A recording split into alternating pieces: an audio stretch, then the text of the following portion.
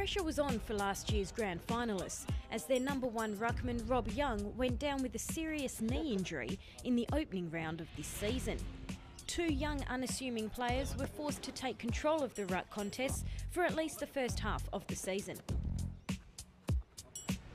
Yes, we had a couple of setbacks early in the year with our ruckman, and we had no choice but to give the young guys the opportunity, Cam and Fraser, and some good boys in the reserves as well. Uh, but so far, Cam and Fraser have uh, done the job for us.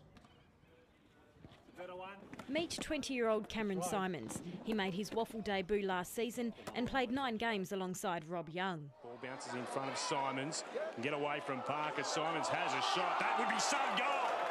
Oh, that's a terrific effort. What about the pickup? If you don't mind, madam, I'm going to take him on and have a shot. It's been a big step from last year. I feel being thrown in the deep end helps you develop a lot more because you don't really have a chance to sit back. You kind of have to come forward and show what you got and yeah, just give it your all. 22 year old Fraser McDougall returns to Shark Park after a successful year for amateurs club Bull Creek Leeming and made his WAFL debut in round one this year. Oh, up towards McDougall, who reeled it in with the one hand. Yeah, look, definitely for the first few games, I was um, not sure what to expect and, and definitely sort of thinking about that a bit, but now settling in a little bit more, getting a few more games under my belt. And if anyone is aiming to reach new heights, it's McDougall. That McDougall wins the tap for East Fremantle.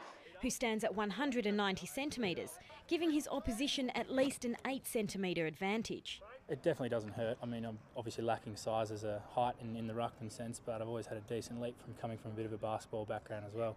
So um, that definitely helps me out. Um, but going down forward, I've always backed myself in for the marks, so that's what, where I'm looking forward and going when I'm in the, in the forward line for the marks. Well, we picked Fraser as a centre half forward against Swans, and uh, the opening mark had to come into the ruck. So, and Simo was supposed to be the backup ruckman for Youngie or Griffo. So uh, they have surprised me to a certain extent, but uh, uh, yeah, it's been really pleasing.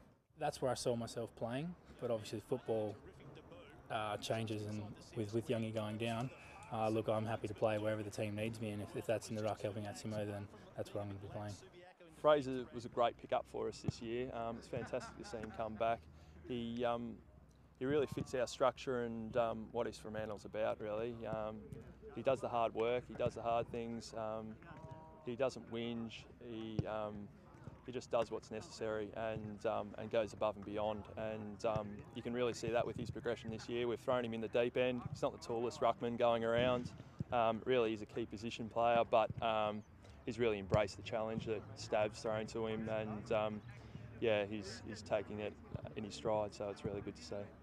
And despite this ruck combination being so new at WAFL level, their junior playing days are coming in very handy.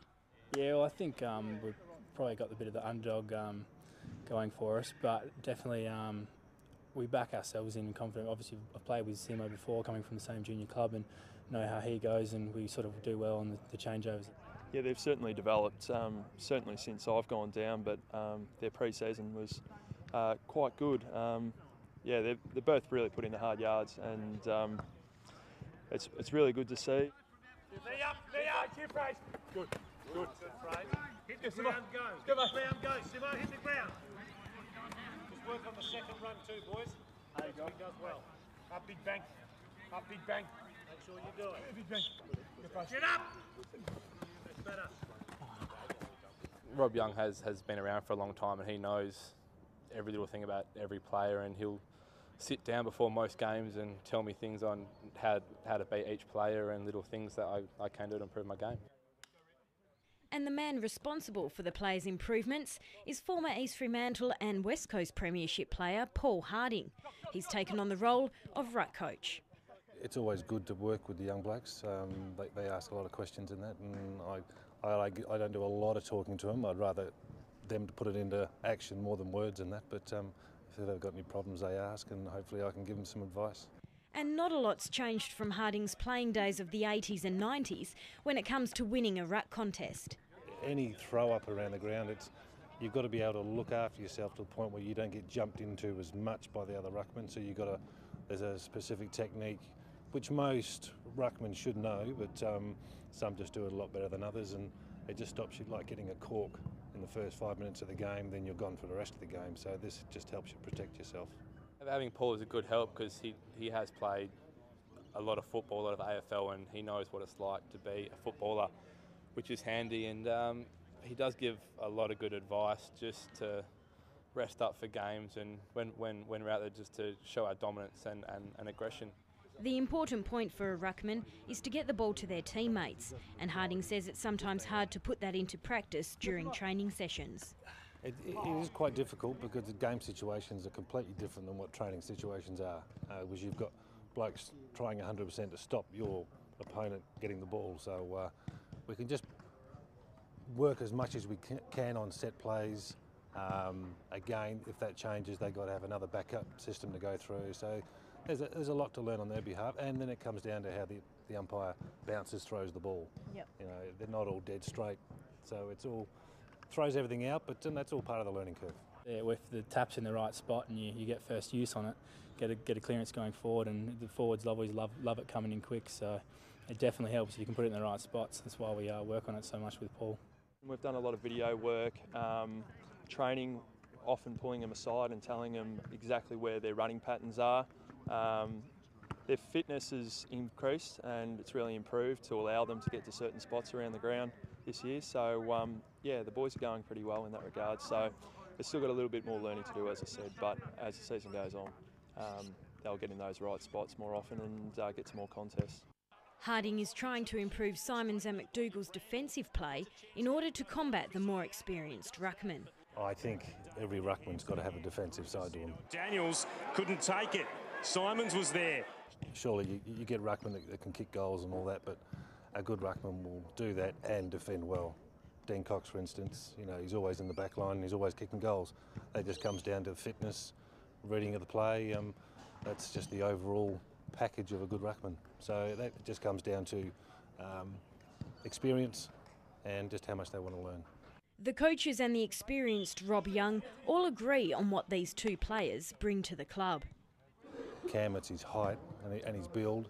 He's got good strength. He's got to work on you know a, a few things which he knows. And um, with Fraser and that, it's uh, you know he's got the strength, his uh, second efforts and everything, which is um, all part of it. Fraser's a natural competitor, just competes really hard at every contest.